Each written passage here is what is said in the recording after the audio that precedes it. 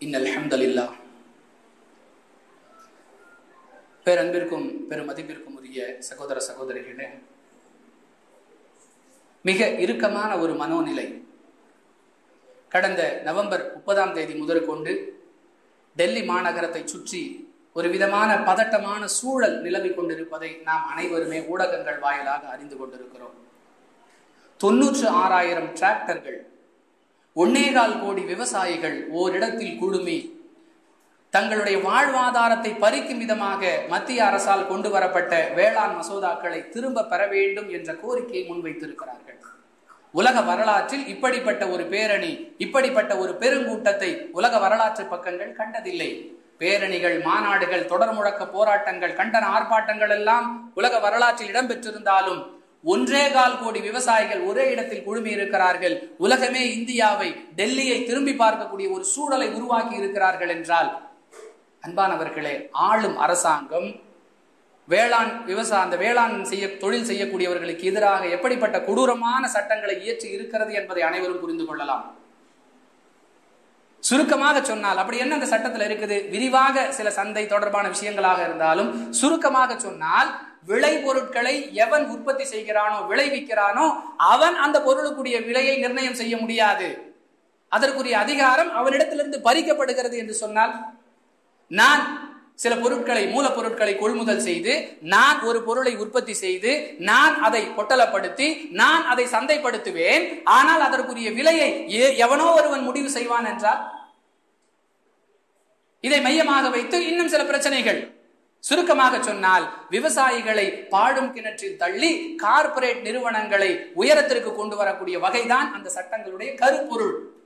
இதை எதிர்த்துத்தான் அந்த வேளாண் குடிமக்கள் போராடி கொண்டிருக்கிறார்கள். அவர்களுடைய முழக்கம் அமித்ஷா ராஜினாமா செய்ய வேண்டும். அமித்ஷாவுக்கும் வேளாண் சட்டத்துக்கும் என்னங்க சம்பந்தம்? விவசாயத்துறை அமைச்சரை ராஜினாமா செய்ய சொன்னால் நன்றாக இருக்குமே என்று கூட சிலருக்கு தோன்றலாம். எரியறத புடுங்கனா கொதிக்கிறது அடங்கும்னு சொல்லுவாங்கல்ல. எத்தனை அட்டுழியங்கள்? அத்துணைக்கும் மூல காரணமாக இருக்கக்கூடிய உள்துறை அமைச்சர் ராஜினாமா செய்ய வேண்டும் என்பதுதான் அவர்களுடைய ஒட்டுமொத்த ஓங்கி ஒலிக்கக்கூடிய கோஷமாக இருந்து கொண்டிருக்கிறது. எந்த அளவிற்கு அவர்கள் இந்த அரசாங்கத்தின் மீது நம்பிக்கை இழந்து விட்டார்கள் என்று சொன்னால் இரண்டு மாதங்களுக்கு தேவையான உணவுப் பொருட்கள் அவற்றை சமைப்பதற்கு தேவையான அடுப்பு விறகு இரண்டு மாதங்கள் அவர்கள் அங்கே தங்கி தங்களுடைய டிராக்டர்களையே குடியிருப்புகளாக மாற்றிக்கொள்வதற்கான தார்பாய் உள்ளிட்ட ஏற்பாடுகள் அங்கேயே துவைத்து அங்கேயே சமைத்து அங்கேயே குளித்து அங்கேயே தங்களுடைய ஆர்ப்பாட்டங்களை தொடர்ந்து கொண்டிருக்கிறார்கள். ரெண்டு மாதத்துக்கான உணவுப் பொருட்களை கொண்டு வந்திருக்கிறார்கள் என்றால் இந்த அரசு தங்களுடைய பலகீனமான இந்த குரலுக்கு பதிலளிக்காது செவி சாய்க்காது என்ற நம்பிக்கையற்ற தன் தன்மை எடுத்து காட்டுகிறதா இல்லையா? ஒரு ஆர்ப்பாட்டத்துக்கு போறோம். காலையில போனா சாயங்காலம் வந்துடும் அப்படிங்கிற எண்ணத்துல தானே போகும் ஒருத்தர் ஆர்ப்பாட்டத்துக்கு வரும்போது ரெண்டு செட்டு ட்ரெஸ்ஸை கொண்டு வர்றாருன்னா கூட உள்ளவங்கலாம் அவரை சேர்த்து கலாய்ப்பாங்க. என்ன ஊருக்கா போற? ரெண்டு செட்டு ட்ரெஸ் கொண்டு வர்றவங்க ஒரு மா ஒரு லுங்கி கொண்டு வர்றாருங்க. ஒரு பாலித்தீன் கவர்ல வச்சு ஒரு லுங்கி கொண்டு வர்றாரு. அவர் ஆர்ப்பாட்டத்துக்கு வரக்கூடியவர். அவர் எல்லாரும் சேர்ந்து கேலி செய்வார்களா இல்லையா? என்ன மூணு நாள் ஜமாத்தா போற? லுங்கி எல்லாம் கொண்டு வந்திருக்க? இரண்டு மாதங்களுக்கு தேவையான பொருட்களோடு வந்திருக்கிறார்கள் என்றால் இந்த அரசின் மீதான நம்பகத்தன்மை இழக்கப்பட்டு விட்டது. வீதிக்கு வந்துதான் நீதியை பெற முடியுமே தவிர இனி இந்த அரசாங்கம் நம்முடைய கோரிக்கைகளுக்கு செவி சாய்க்காது என்ற அவ நம்பிக்கையே அவர்களுடைய இந்த இரண்டு மாத ஏற்பாடுகளை நமக்கு புரிய வைக்கிறதா இல்லையா? அன்பானவர்களே கவிஞர்கள் சொல்லுவார்கள் கவிதை மார்க்கத்திற்கு உட்பட்டதல்ல புரிந்து கொள்வதற்காக. விவசாயி சேற்றில் கையை வைக்கவில்லை என்றால் மற்றவர்கள் சோற்றில் கையை வைக்க முடியாது என்று சொல்லுவார்களே. இதுவெல்லாம் யதார்த்தமாக புரிந்து கொள்ள வேண்டிய விஷயங்கள். இதற்கு பெரிய ஆராய்ச்சி பட்டப்படிப்பு மிக ஆழ்ந்த அறிவெல்லாம் தேவையில்லை. பாமரனுக்கு புரியக்கூடிய விஷயங்கள் ஏன் நாட்டை ஆளக்கூடியவர்களுக்கு புரியவில்லை என்று தெரியவில்லை? புரியவில்லையா? அல்லது அநியாயம் செய்ய வேண்டும் என்பதை மட்டுமே நோக்கமாக கொண்டு இது போன்ற அடக்குமுறை மசோதாக்களை நிறைவேற்றுகிறார்களா என்று தெரியவில்லை.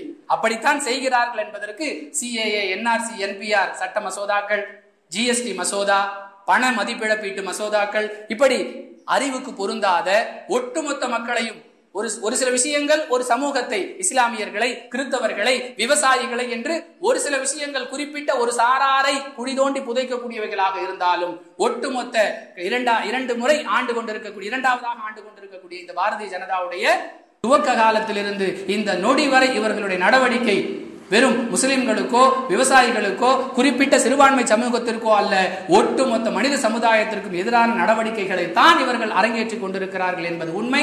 அதன் ஒரு பகுதிதான் விவசாயிகளுக்கு எதிரான இந்த நடவடிக்கை. அன்பானவர்களே நாமும் நம்மால் இயன்ற அளவிற்கு நம்முடைய பிரார்த்தனைகளின் மூலமாக நம்முடைய விழிப்புணர்வு பிரச்சாரங்களின் மூலமாக இந்த விவசாயிகளின் நலனுக்கு குரல் கொடுப்போம் ஒத்துழைப்போம். யார் மண்ணில் உள்ளவர்கள் மீது இரக்கம் காட்டுகிறார்களோ அவர்கள் மீது விண்ணில் உள்ளவன் இரக்கம் காட்டுவான் என்ற நபிமொழியை கவனத்தில் கொண்டு நம்முடைய செயல்பாடுகளை அமைத்துக் கொள்வோம். அல்லாஹ் உதவி